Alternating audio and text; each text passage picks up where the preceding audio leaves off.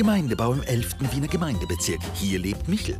Der Pensionist hat sich eine peppige Freizeitbeschäftigung gesucht und betreibt von seiner Wohnung aus das Gemeindebau-Internetradio, in dem er täglich moderiert und bis zu 200 Hörer beglückt. Sprechprobe 1 so, 1 so. Ja, funktioniert. Eine Bekannte, die mit mir gespielt hat, hat mir eben gesagt, du, äh, wir können eigentlich Musik auch hören während dem Spielen. Ne? Und hat mich dann eben auf dem Radiosender, wo ich äh, fast über dreieinhalb Jahre gesendet habe, äh, mich dort hingelockt. Hat mir den Link gegeben, ich habe mich dort eingeloggt. Und äh, seit dem Tag äh, habe ich dort Musik gehört. Nach 14 Tagen hat mir, hat mir das eigentlich gefallen, wie die Moderatoren da das rüberbringen. Und äh, habe mir gedacht, ja, was die kennen, kann ich auch. Sprechprobe 1, 2, 1, 2. Ich hoffe, ihr hört mich alle. Hm.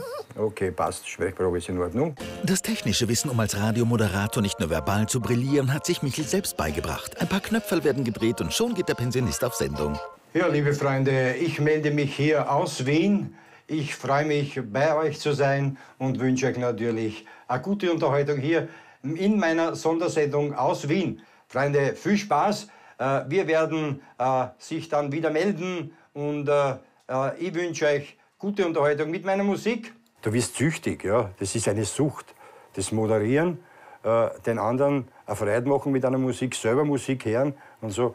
Das ist eine Sucht, ja. Und dann habe ich mich entschlossen, ich mache mir selber ein Radio auf. Und dann habe ich eben den Weißen Adler gegründet. Ne? Die Saragossa Band mit einem Hitmedley. So, das dauert 21 Minuten. Da habe ich Zeit, mir wieder einen Kaffee zu machen und äh, Pinkelpause. Aus dem Wasser lassen wird aber nichts. Freund Ernstl kommt auf Besuch. Er ist ein ehemaliger Arbeitskollege und Radiofan, wenn auch nicht immer mit Michels Musikauswahl einverstanden. Der hat halt die Bauermusik mehr, die was ich weniger lieb. lieb ja. Ich hab gerne Rock'n'Roll, ich hab gerne Medleys von Bilele, so wie er schon einmal gesagt hat. Ich kann nicht immer das spielen, was was du dir vorstellst. Ich muss schon nach die Hörer angehen. Ja, das ist schon klar. Wenn du, du drinnen bist, spielst du eh deine Musik ja, auch. super. Eh da geht es über Bum Bum und Liebe da und Liebe da. Nein, das brauche ich nicht. So, meine lieben Freunde, äh, ich werde mich jetzt von euch verabschieden, denn äh, ich muss hier alles abbauen und äh, rüber in den 16. Wiener Gemeindebezirk. Ich werde mich dann aus der Kopfstraße, aus dem Lokal vom Korrekt melden. Ich verabschiede mich von den Gästen im HG, alle, die draußen lauschen. Tschüss, Baba, pfiat euch. Äh, schöne Stunden jetzt mit der Mona. Immer wieder packt Michel sein gesamtes Radio-Equipment zusammen und verlagert sein Studio für eine Außensendung in ein Lokal. Seine Erdgeschosswohnung ist dabei praktisch. Da schaue ich immer, ob ich am Parkplatz hier genau vor dem Fenster. Ne? Und dann äh, haut das hin, so wie jetzt. Ne? Sag mal, wie lange hast du gebraucht? Du bist ja wie ein Schnecken gewesen. Ich bin eh schon da, was denn? Das ist ja Wahnsinn. Auch mich jetzt zuerst und nicht, und nicht, und nicht schlägst du mal an. Hast du schon alles hergekriegt? Na, ich schon. Brav. So. Aber lass nicht voll, gell? Erst, ich hab das schon so oft hin und her gerannt. Ja, das glaube ich dir eh.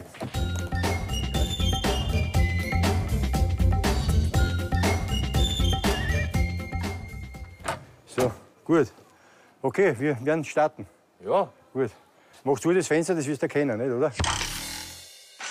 Michel und Ernstl haben den heutigen Sendeort erreicht. Ein Kaffeehaus in der Wiener Kopfstraße. Michel ist hier kein Unbekannter und begrüßt seine treuen Hörer, bevor er mit dem Aufbau seines Studios beginnt. Er war schon öfters hier als Moderator.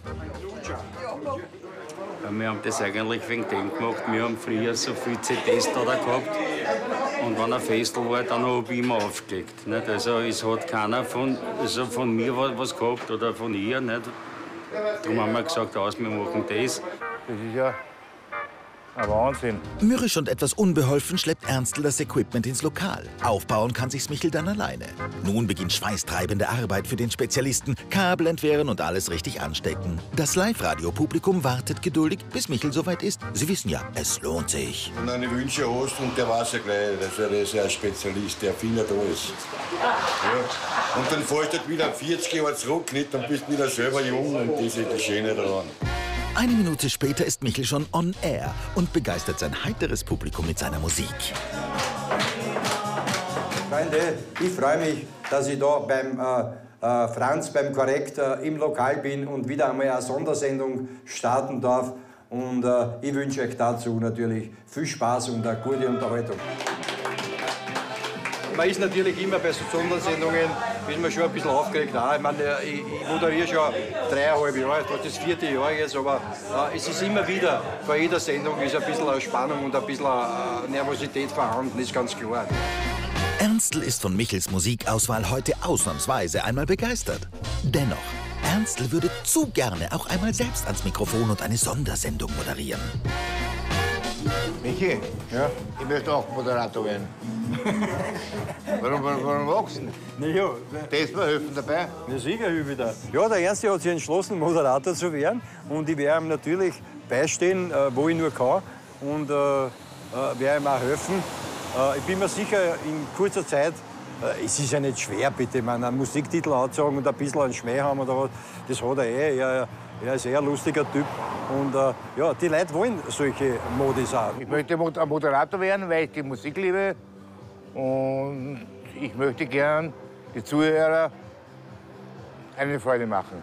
Fangst gleich an, ja, kommst groß raus. Ernst, willkommen im Team. Dankeschön. Geh mehr. Mit der Busse. Ja, vielleicht bist du auch da. Wenn, du. wenn, wenn, das, ist wenn das meine, meine Fans sehen, dass ich von einem Mauerpudel kriege, dann Aber das ist der Hauptschild, oder nicht? Das ich gesagt. Da. Michel ist auf Sendung, die Gäste im Radiocafé gut gelaunt und das Geschäft läuft. Nur Michel muss nüchtern bleiben und sich auf seine Arbeit konzentrieren. Alter, ich muss schon einen klaren Kopf bewahren. Nicht? Äh, Ich trinke äh, ja, vielleicht ein, zwei Bier oder das, das war's dann. Nicht? Inzwischen ist Ernstl von der Aussicht beseelt, vielleicht auch einmal Moderator zu werden und startet eine kleine Umfrage. Was hörst du gern, musikmäßig? Bist du ein Österreicher? Ich Na, frag dich Keller bin ich keiner. So, Was bist das du war da? der Gästewunsch von. Da hörst du meine Aussprache nicht? Nein, aber der Ich habe das. Gefühl, dass du kein Österreicher sich Kannst ruhig aufnehmen, das Ding. Was? Ich habe das Gefühl, dass du gar nichts Tu nicht, tu, tu, tu nicht streiten mit mir, tu nicht Ich habe Ding. das Gefühl, Nein, dass nein. du gar nichts bist. Sag.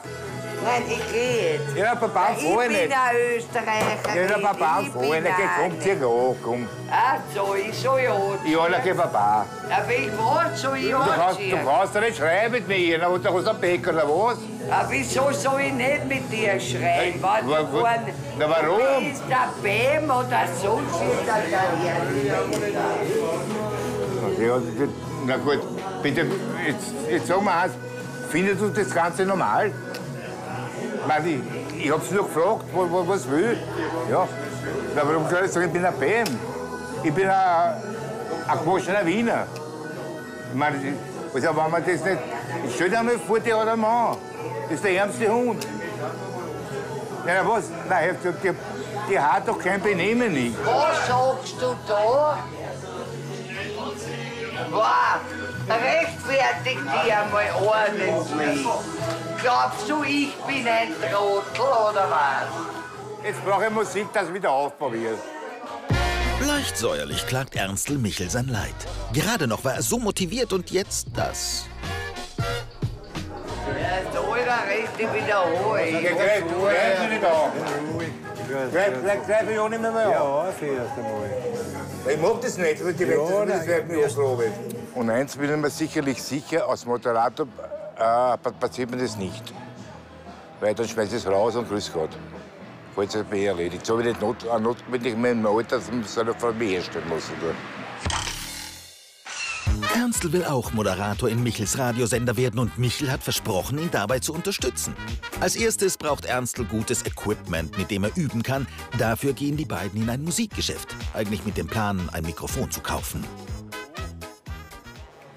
Das funktioniert ja nicht. Du kennst dich nicht aus beim Klavier. Das ist Jetzt kommt bestimmt der Flohwalzer. Ja. Genau. Und falsch. Hoppala. Das ist überaus neugierig, ja. Alles wieder ausprobieren, alles wieder, alles wieder sehen, immer der Stil umeinander. Äh, manchmal habe ich schon wirklich äh, Probleme mit ihm.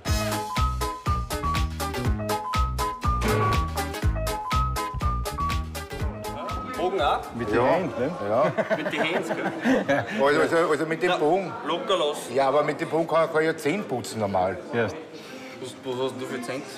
Der Ernstl selber Instrument, äh, so viel ich weiß, äh, nein, ich glaube, er kann nicht einmal pfeifen. Das ist das Stradivari. Also das tut mir nur ganz leicht. Wenn ich fester Druck, was ist dann? Ja, dann hat sie es an wie jetzt gerade. Aber nicht nur die Saiteninstrumente probiert Ernstl aus, auch jene Instrumente, die nicht auf der Saiten stehen, sondern in der Mitte, in einem schalldichten Raum. Was Du mach wenigstens die Tiere zu, du hast doch die Ja, du Trommel. bist da reingekommen, machst zu, dann okay, wir einmal probieren. Ja, was willst du Da, tun? einmal. Das ganze Haus rennt so. warte einmal, hör einmal. Was machst du denn so? Der ist halt ein bisschen ein Hektiker, der sagt, geh mal gleich dort, dort, das war gleich wieder gehen. Und das bin ich halt nicht. Ich möchte mir das anschauen in Ruhe und das, und wir probieren den Kopfhörer dort und den da. Weil die ist- die Sog im Maus oder auch die Maus in Sog kaufe ich nicht. Endlich erreichen die beiden die Abteilung, in der sie hoffentlich das bekommen, was sie brauchen.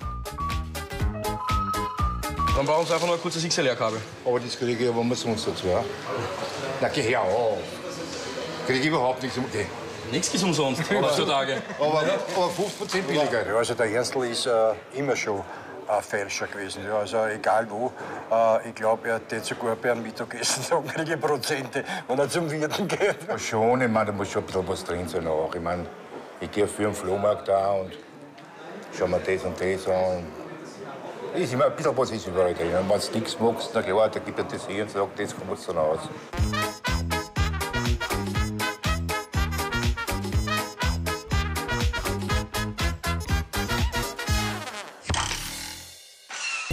Michel und Ernstl haben endlich ein günstiges Mikro für den angehenden Radiomoderator ergattert. Nun kann in Michels Wohnzimmerstudio die Ausbildung beginnen. Ernstl darf gleich einmal einen Trockenversuch starten. So, ich begrüße euch ganz herzlich in Radio Weißen, Weißen Adler und wünsche euch eine gute Unterhaltung. Begrüße mal die Gäste im HG, alle, die draußen lauschen. Gute. Unterhaltung, einen schönen Abend. Ich sende aus dem, äh, was weiß ich, Sendestudio Bad Ballab, Schallerbach oder was wie das heißt, da wo du wohnst. Weiß ich. Ich sende hier aus Bad Erlach.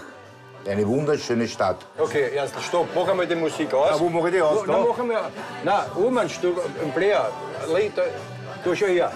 Ja, da Du, du gehst auf Stopp. Stopp, genau. So, pass auf. Äh, äh, du musst einmal, wir müssen einmal jetzt äh, schauen, dass, dass die Begrüßung hin hat. Die wird, also man das korrekt sagt, so und so und so. Wenn mein Chef und dann einmal zu scharf wird, fahr ihm schon drüber. Ich bin nicht streng, aber äh, ich will halt haben, dass äh, äh, ein guter Modi wird. Ich meine, er wird eh von allein nicht gut dann, ja, mit der Zeit. Aber so wie das am Anfang, wie es ihm zeigt und lernen, so, so äh, gewöhnt er sich dann auch an. Ne? Das geht ja heute auf morgen. Da muss, da muss Ich ich sag, üben, darum ja. sage ich das ja. Darum, Ja. darum, darum, darum üben wir es ja, ne? Ja. Dann, dann sagst du ja, und nach einer Weile, jetzt begrüße ich die Hörer hier im Chat. Ja, Hallo, grüß dich so und so, ein Knutschel zu dir. Zum, äh, zu den Männern sage ich ja, die Pfeife zu dir, gute Unterhaltung und so. Ja, Ich genau. begrüße, auch, ich, ich, ich begrüße euch auch die, die U47. Eine gute Unterhaltung wünsche ich dir. Die Haribo, eine gute Unterhaltung. Die Lady, ein Knutscherl. gell? Auch eine gute, gute Unterhaltung. Und in, in HG auch. Eine gute Unterhaltung. Ich hoffe, ich kann euch mit meiner Musik eine Freude machen. Ja, genau, siehst du, ja, Dialekt, nicht Schrift. So ist Leibwand, so passt schon. So, wie du sagst. Wirst schon. Trotz Versprecher in jedem zweiten Wort scheint Michel fürs Erste zufrieden. Nächster Punkt, er jagt Ernstl auf die offene Straße, um Passanten zu interviewen. Wirst schon her, Ernstl. Das gehört ja oben da. Das ist ja nur für den Tisch. Zum um Gottes Willen. haben sich Aber aufgeschraubt. okay, bitte stell dich nicht so aus. So, jetzt. da. Haben Sie schon gehört, was von Radio Weißen Adler? Von der Ich Musiksendung? zuhalten. Nein, No, noch nicht. Eine gute Unterhaltung dort. Schalten Sie einmal ein. Es geht, äh, ich hätte schon reingekommen. Klar, am Anfang tut man sich ein bisschen schwer. Nicht? Er hat ein bisschen Lampenfieber. Und äh, wenn er das überwunden hat, dann geht's schon. Ja. So, erst mal zu. Ich mein, äh, äh, nicht nur übers Radio, Weißer Adler und so, ob sie es kennen und ob sie das Internet haben, sondern frag sie mal, äh, mit was ich mich, wenn du jetzt auf Sendung gehst, mit was du dich verabschieden sollst. Mit einem Knutscherl, ja, mit einem Schmatzer oder mit einem Bussel oder mit einem Schlecksel oder Wenn man jetzt einer Frau so ein Ab- ein Abschiedsding äh, mit einem Schlägsel oder, oder einem Putzel, die, die gibt man vielleicht aber auch schon. Wenn ich auf einem, einem, einem Schlägsel.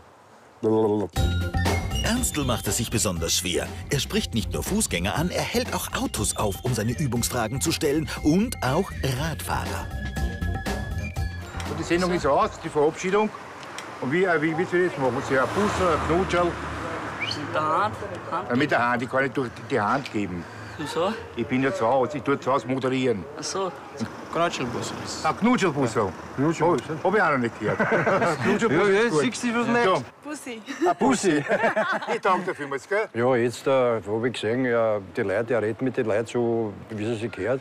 Und er hat die Hemmschwelle überwunden. Ja, ich ja, habe gewusst, du bist auf Zack. Nicht auf Tag. Ich meine, jetzt Ja, habe ich wenigstens das Bauchgefühl weg. Ja, Ja, sicher. Und das ist viel mehr wert. Und ich, ich, meine, ich hoffe halt, dass ich halt dich zufriedenstellen tue drinnen. Ich brauch's nicht blöd, die Hörer. Nein, nein, du bist ja der Chef. Nein, du bist ja der Chef. Du musst, du musst entscheiden, so oder so. Ich glaube, jetzt da passt jetzt, da kann er auf Sendung gehen.